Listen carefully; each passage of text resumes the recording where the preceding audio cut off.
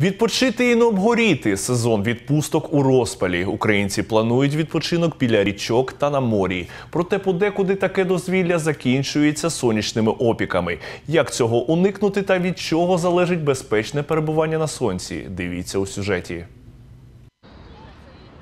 Галина у передчутті відпустки у планах поїхати на море. Та на пляжі каже, намагається сховатися в затінок, адже шкіра надто чутлива до сонячних променів. Одного разу дівчина втратила пильність, сонце обпекло її обличчя. Не дуже то я й засмагала, але в мене були пухирі, в мене. ем, Отак от пів обличчя було о, обпалене. У мене був зіпсован, була зіпсована відпустка.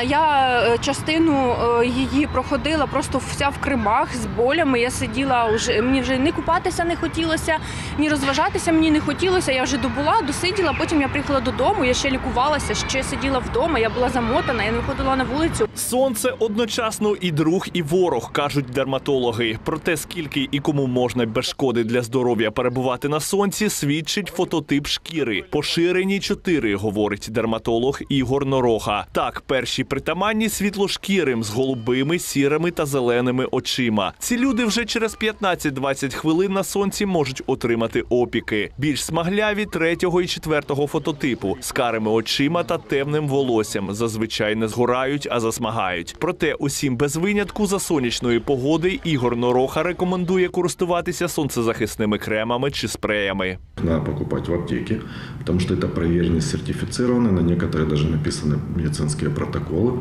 по использованию. И нужно обращать на маркировку данных средств. Э, Обязательно обращать, если фотозащита SPF от ультрафиолета лучей A и лучей B.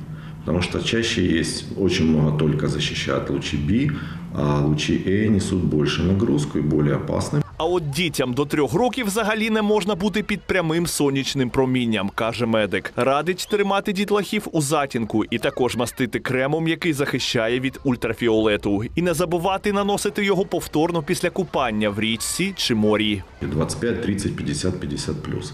Это не сила э, защиты средств от ультрафиолета. На самом деле это градация времени пребывания на Солнце. Данная цифра должна умножаться на 3, и мы получим то количество минут, которое мы можем реально находиться под открытыми солнечными излучениями. Щоб захиститися від шкідливого впливу сонця, медики рекомендують не засмагати з 10 до 16, коли сонце має найбільшу активність. На голові має бути капелюх із широкими полями і пити воду. Стас Коновалов, Володимир Туркулець, Роман Івашинов, Open News, телеканал відкритий.